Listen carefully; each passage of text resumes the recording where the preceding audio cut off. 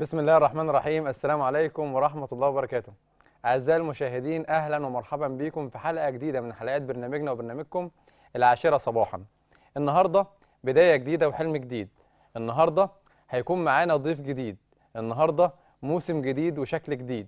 النهاردة لما يكون جواك حلم أو هدف أو طموح أو بصمة عاوز تحطها جوه مجتمعك لما يكون جواك مكان فاضي. نفسك تملاه بأحلام وبطموحات نفسك تخليه جنة تروي نفسك وتروي بيها بلدك. لازم تدور على نقاط القوة في جواك. لازم تدور على كل حاجة كويسة تبني بيها نفسك. النهارده هيكون معانا ومعاكم ضيف جديد. هيكون معانا ومعاكم شاب جديد. نموذج من نماذج اللي إحنا بنفتخر انها موجودة وسطنا. حد بدأ حياته وكمل مشواره ونجح. قبل ما نتعرف على ضيفنا بالأول بنقدم تهنئة. للسيد الرئيس عبد الفتاح السيسي بمناسبة عيد ميلاده اللي كان يوم 19 نوفمبر.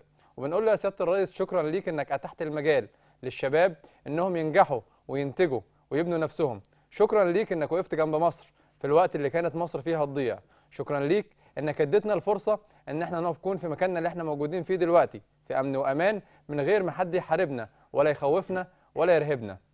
النهارده هيكون معايا زميل جديد. النهارده هيكون معايا حد هيقدم الحلقة معايا. وهيكون معانا في حلقتنا معانا الأستاذ محمد محمود. إزيك يا أستاذ محمد؟ الله يسلمك. إزيك منورني. بنورك والله. أهلا وسهلا بحضراتكم اعزائي المشاهدين. إن شاء الله بإذن الله موسم جديد لبرنامج جديد آه، العشيرة صباحا تحت أمر حضراتكم وموجودين معاكم بأمر الله في كل حاجة. آه، قبل بعد تهنئة السيد الرئيس بعيد ميلاده هنهني منتخب مصر الأولمبي بصعوده للأولمبياد وكمان صعوده لدور النهائي في أمم أفريقيا. ومعانا ضيف جديد النهارده أستاذ كريم محمد آه، واحد من الشباب اللي قدروا يبنوا نفسهم والشباب اللي عملوا نفسهم بنفسهم وزي ما بنتكلم على طول في المشروعات وفي إدارة المشروعات إن إحنا قادرين إن إحنا نعمل كل حاجة بنفسنا قادرين إن إحنا نقف على رجلينا قادرين إن إحنا نقاوم كل الصعوبات. أهلا وسهلا بيك يا أستاذ كريم.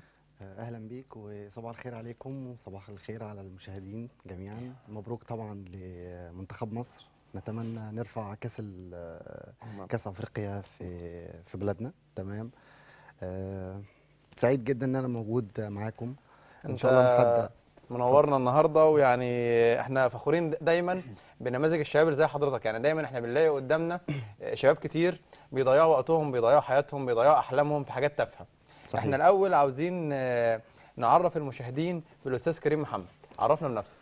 آه، أنا 32 سنة آه، بكالوريوس إدارة أعمال. آه، بدأت حياتي أو بدأت شغلي إن أنا نزلت اشتغلت في شركة. عادية جدا. آه، في مجال الإلكترونيكس. أنا م- يعني يمكن من صغري كمان إن أنا بحب ال- الإلكترونيات بشكل عام. آه، بحب أشوف إيه الجديد إيه التكنولوجي إيه الموجود. آه، بدأت إن أنا أشتغل في شركة. قعدت فترة يعني سنة تقريبا. لقيت قدامي فرصة وأنا شغال فيها سفر للسعوديه تمام؟ طبعا زي أي حد نفسه يكون نفسه نفسه يحقق حلمه نفسه في حاجات كتير طبعا. رحت الفرصة. الحمد لله عملت انترفيو آه، اتقبلت اشتغلت حوالي 8 سنين في السعودية. آه، قدرت إن أنا آه، يعني أعمل حاجة ما كنتش يعني كنت هعملها في مصر بس على سنين أكتر وهو إن أنا اسيف شوية فلوس بحيث إن أنا أعمل حاجة لطموحي ومشروعي. وده حلمي وأنا صغير إن أنا أكون يعني آه، نقدر نقول إن أنت صاحب خدت ال- مشروع. خدت السفر كسلمة. مش بالظبط. كهدف بالظبط يعني كسلمة إنك تبني بيها حياتك وتبني بيها مشروعك اللي هو شركة بلوتك اللي مظبوط. إحنا اللي إحنا يعني سمعنا عنها وده لما انت سافرت يعني ما خدتهاش ان الموضوع بالنسبة لك آه، أنا هفضل هناك عمري كله زي ما بنشوف ناس كتير بتعمل طب أنا هضيع عمري كله في السفر أو السفر ده هدف بالنسبة لي. لا ده كان سلمة أو صحيح. تجربة استفدت منها وتعلمت منها زي حاجات كتير في حياتك بحيث إنك ترجع تبني في بلدك وتبني في صحيح. مصر. آه كنت حاطط في دماغي دايما آه إني اجلا أو عاجلا هنزل لبلدي. هبدأ تاني من الصفر. طب ليه ما أبدأ؟ يعني ما أبدأش من الصفر أبدأ بحاجة برأس مال حتى لو مشروع صغير. وابدأ إن أنا أكبر فيه وأحقق طموحي وحلمي وده المهم بالنسبة لي. هي دي كانت نقطة البداية. نقطة صحيح. البداية اللي إحنا دايما بنلعب عليها وبندور عليها في كل حاجة في حياتنا. صحيح. ال ال الخيط اللي بنبدأ نمسكه من البداية عشان نبدأ نوصل فيه للنهاية. فبدايتك كانت إزاي؟ بدايتك في المشروعات كانت ماشية إزاي؟ أنت دلوقتي اتكلمت على إنك أنت سافرت بره عشان تعمل سيولة وبعدين ترجع تبدأ في بلدك.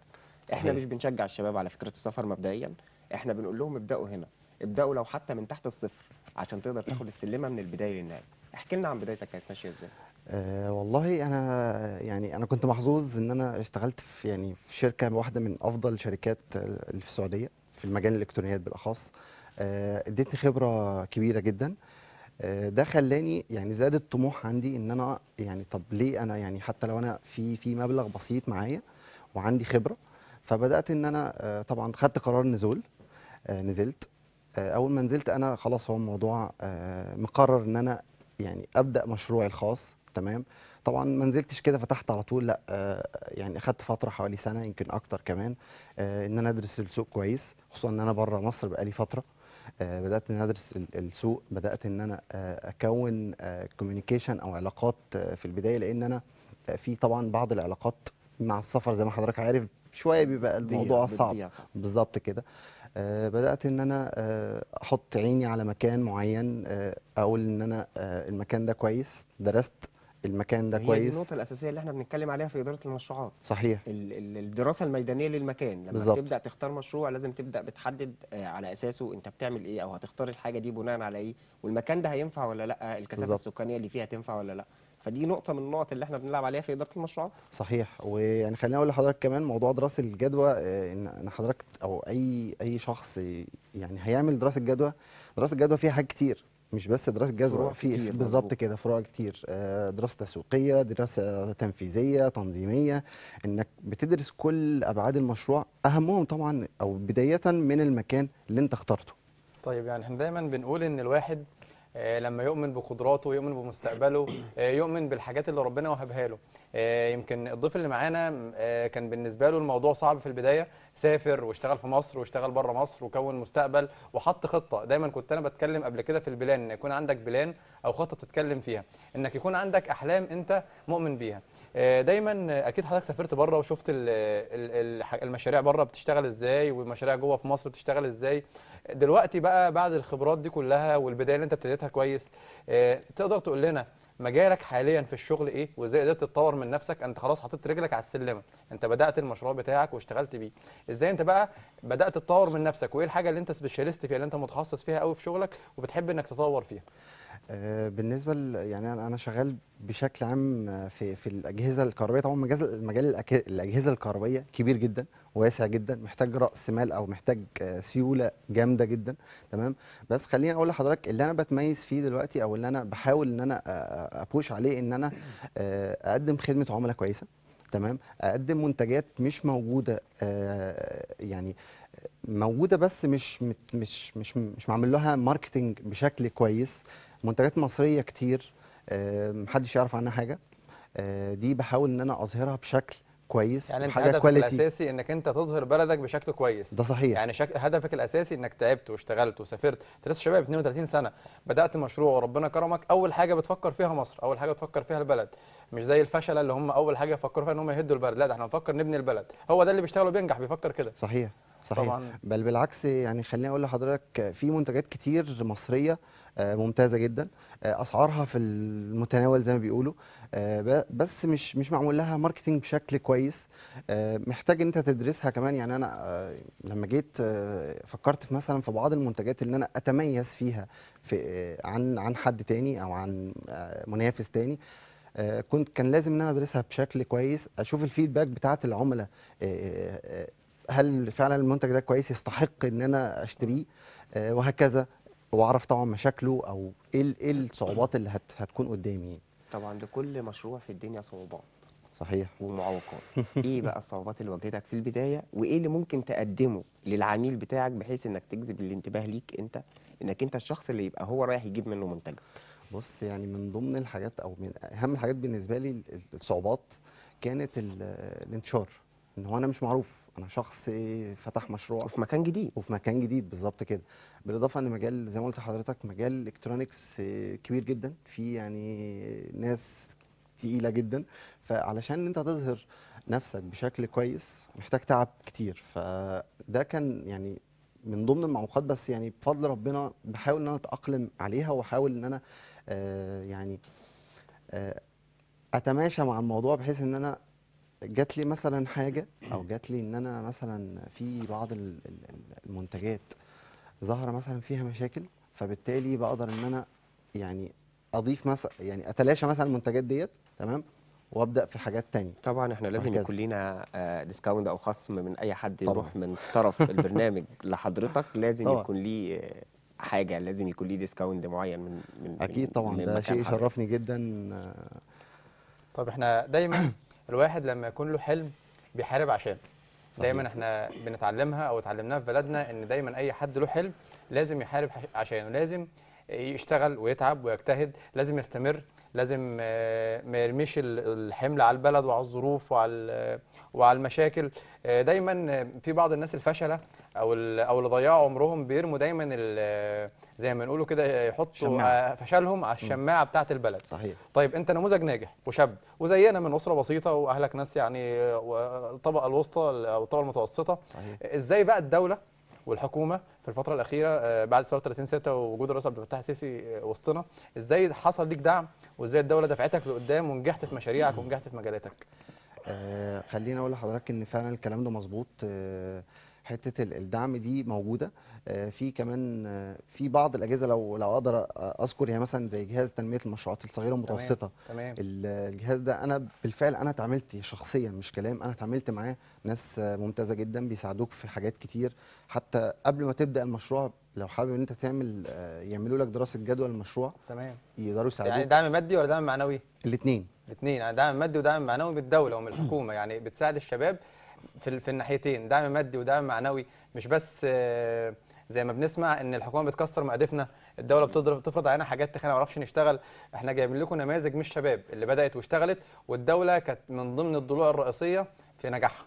تمام؟ صحيح. وده ده زي ما قلت لحضرتك ده بالفعل أنا شفته آه وموجود في, يعني في أغلب محافظات مصر كفروع لل- لل- لل- للمشروع اللي هو تنمية مشروعات الصغيرة والمتوسطة.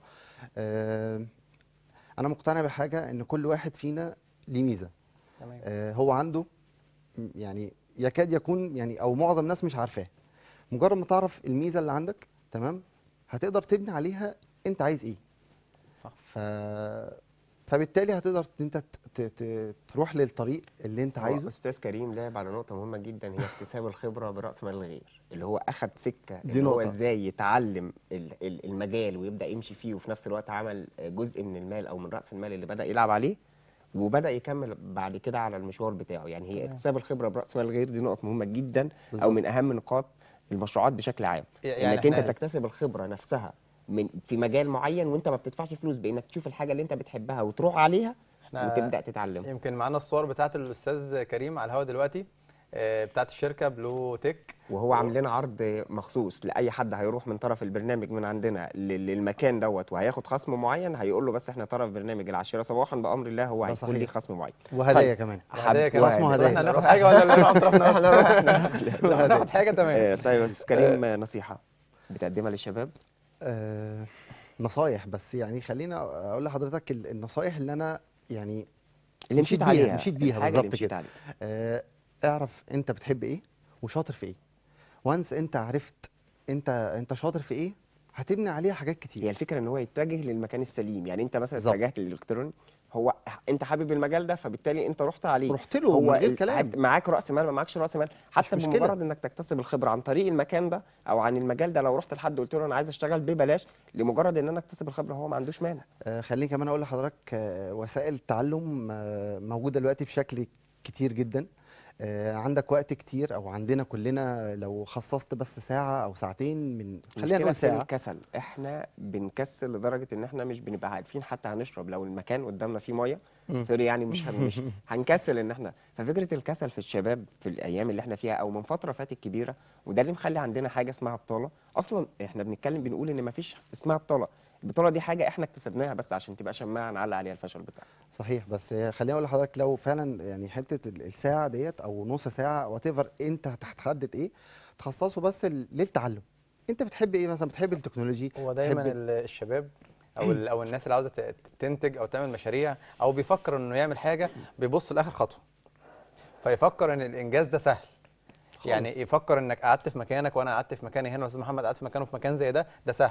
أو يفكر إن هو مثلا فلان ده راكب عربية أو فاتح شركة أو مشغل عنده موظفين ده سهل. محدش بص لبداية التاني آه، إيه. محدش شاف. محدش شاف محدش هو شافك عمل وأنت إيه عشان. يوصل للمكان ده. آه محدش شافك وأنت بتشتغل. محدش شافك وأنت يعني وأنت مثلا في يوم من الأيام ما كنتش لاقي ثمن الأكل اللي هتشتريه. محدش شاف في يوم من الأيام وأنت مثلا طبقت يومين ثلاثة بتذاكر أو بتشتغل أو بتتعب. تمام؟ دايما يمكن في شغلنا بنقابل ناس تقول لنا والله الدكاترة جزارين والدكاترة معاهم والدكاترة ما حدش كان مع الدكتور ده سبع ثمان سنين وهو بيذاكر. ما حدش كان مع التاجر أو صاحب المعرض زي حضرتك وهو سافر وراح وجه وربنا أعلم كان بيحصل إيه في الغربة هناك من تعب. ومعوقات. آه يعني فاهمني أنت إزاي؟ كفاية إنك غريب بره. فدايما إحنا عاوزين منك آه، زي ما بنقول كده الشباب. الشباب آه، بتاع مصر اللي إحنا دلوقتي عدينا 100 مليون أو 100 مليون ال 100 مليون دول نصهم شباب. إزاي بقى نستغل العدد الكبير ده إن إحنا نحط طوبة؟ كل واحد فينا يحط طوبة إنه يبني البلد دي. آه، أنا يعني كنت لسه بكلم حضرتك في حتة التعلم. آه، التعلم هو آه، أنت فعلا لو خصصت نص ساعة أنا خليني يعني هقول لحضرتك سريعا كده تمام، نقط تمام، بسيطة. تمام. تمام؟ لو خصصت نص ساعة أنت هتقدر آه، تتعلم حاجة أنت بتحبها. مجرد ما أنت اتعلمت الحاجة ديت أنت هتلاقي نفسك اوتوماتيك بتروح ليها. تمام؟ ده يعني علميا بيقول لك إن إن أنت تفكر في حاجة آه، أو حلم أو طموح أو كده هتلاقي نفسك اوتوماتيك بتبعت إشارات لمخك. هتوصلك للحاجة ديت. وفي شباب كمان مش متعلمة يعني الناس اللي واخدة آه، مؤهل متوسط برضو بتبقى قاعدة ماسكة ده كشماعة برضو اللي هي ملهاش وظيفة خالص. وملهاش حاجة تانية. فالناس دي لازم ليها مليون كلمة مش كلمة واحدة. لازم الناس دي تطلع بره النطاق اللي هي عايشة فيه لمجرد إن هم حاصلين على حاجة زي كده. إحنا أغلبنا كده. بس الفكرة كلها إن هم ما زالوا قاعدين وحاطينها شماعة ليهم إن هم يعلقوا عليهم فشلهم وعادتهم إحنا مش بنقول إن الناس فشلة. إحنا لا. بنقول للناس اتحركوا. بنقول للناس السعي ورا الرزق هو الحاجة اللي دايما بتخليك أنت اللي كسبان سواء إذا. كنت كسبت أو ما كسبتش لازم تتحرك. فعشان. كده دايما بنطلب من الضيف نصايح للشباب في الخطوات اللي هو مشي فيها عشان الناس تعمل زيه أو مش لازم تعمل زيه تعمل اللي هم شايفينه صح بالنسبة لهم عشان يقدروا يوصلوا لحلمهم. صحيح. هو يعني آه، هت- هتحارب لازم هتحارب كتير على فكرتك. هت هتحاول تشتغل على نفسك كتير. تمام؟ آه، ما تقولش لأ آه، أنا وصلت لكذا فأنا خلاص يعني كده ده آخري. لأ في لسه في في حاجات تانية. أنت مش مش معنى إن أنت آه، فتحت مثلا مشروع أو جات لك فكرة تمام؟ أنت وصلت. لأ أنت لازم تكمل. سافرت. لأ أنت مش مش دي مش نهاية العالم. فبشكل عام فكرة السعي زي ما قال أستاذ محمد فكرة إن أنت تبدأ بنفسك المثابرة إن أنت تكون تشتغل. بالظبط تشتغل على. نفسك وتشتغل. ما هو ده هيكون لما الواحد يحب نفسه قبل بلده. بالظبط. إن هو ما يبقاش عايله يعني. أنا أنا أنا بستغرب لما ألاقي شباب 20 و22 و23 24 يمكن في بعض أولياء الأمور من فترة كان حد بيكلمني بيقول لي أنا مرتبي ومش مكفيني. قلت له أنت عندك كام عيل؟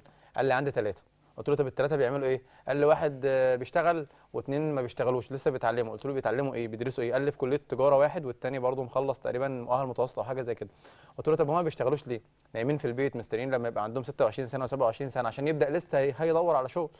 أنت واصل لك الصورة إزاي؟ صحيح. يعني شاب عنده 22 سنة أو 23 سنة قاعد والده الموظف اللي بياخد 2000 جنيه أو 2000 ونص مش مكفيينه عشان بيصرف على ثلاث رجالة. بيصرف على ثلاث شباب. لو الثلاث قلت له طب لو كل واحد فيهم اشتغل ب 1000 جنيه قال لي ده يبقى تمام 5000 جنيه في الشهر أو 6000 جنيه في الشهر 100 100 قلت له طب ما بيشتغلوش ليه؟ قال لي ما هم لما خلصت عليهم قلت له يا باشا ده يعني هو بيروح الجامعة كام يوم في الأسبوع. طب هو م... طب الأيام اللي هو نايم فيها في البيت دي قعدته على القهوة ولا على السايبر ولا الكلام ده كله ما تجيش بقى تقول البلد. ما هي البلد هتعمل لك إيه؟ البلد هتقشر لك الأكل وتحطه في بقك. لا طبعا. يعني إحنا بنتكلم إحنا شباب. إحنا يمكن إحنا شباب واكبر حد فينا حضرتك 32 سنة يمكن أنا 26 سنه لازم محمد برضه تقريبا 26 فاللي هو حاجة يعني إيه السن صغير كلنا يعني في الثلاثينات والعشرينات. فالناس دي مضيعة حياتها في إيه؟ يعني الناس دي مضيعة حياتها في المقابل إيه؟ يا دكتور في ناس بتكلمنا يعني ناس بتتواصل معانا عن طريق شغلنا إحنا الخاص بتبدأ تقول لك أنا طالب وعايز أعمل حاجة لنفسي معايا 1000 معايا 2000 معايا آه. 3 كنا بنحاول نب... يعني إحنا لينا أولويات.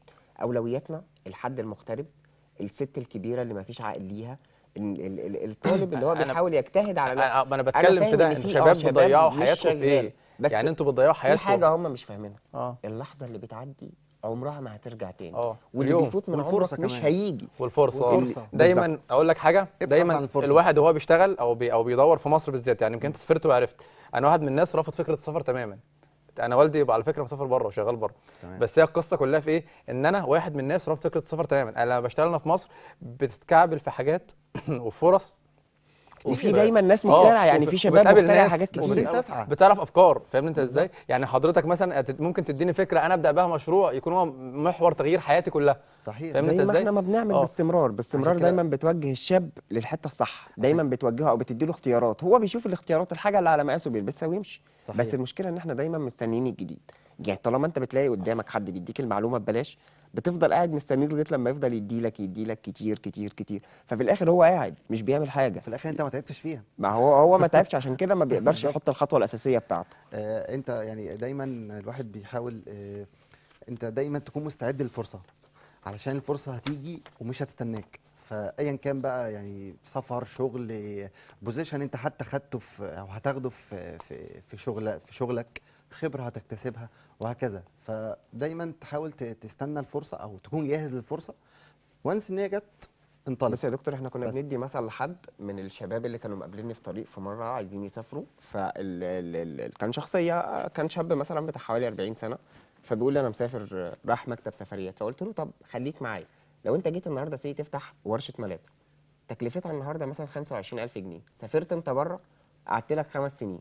عملت مبلغ وجيت بعد الخمس سنين هل يا ترى رأس المال الثابت اللي هو في المعدات بتاعت ورشة الملابس هتفضل زي ما هي 25000 طبعا أكيد غالي طب. فأنت ليه ما ترميش الفلوس دي من دلوقتي وتعمل لنفسك اسم على مدار الخمس سنين لا اتغربت ولا بعدت عن أهلك ولا عشت أيام أنت ما أنتش عارف يمكن ما اللي اتغرب. عارف عارف عارف ما هي دي الثمن. الفكرة عشان كده إحنا ما بننصحش. الناس بفكرة السفر هو- السفر ده أسوأ حاجة ممكن الواحد يجربها لأنه بيضيع من عمره بس كتير هو آه خليني أقول لحضرتك يعني آه كل حاجة وليها مقابل فانت لازم تحط تحط في حسابك لا ده انت مش بتحط مقابل واحد ده آه. انت بتحط 100 مقابل تحت بند السفر ده بالظبط. يمكن بتتخلى عن آه، حاجات كتير جدا. الوقت بتاعنا جري بسرعة وإحنا كنا سعداء بوجودك معانا جدا جدا أنا جدا. ودايما أنا بفرح لما بلاقي حد من الشباب وحد بيدينا إحنا أمل إن بكرة في كويس وإن في مصر ناس بتشتغل وبتبني عشان خاطر البلد دي.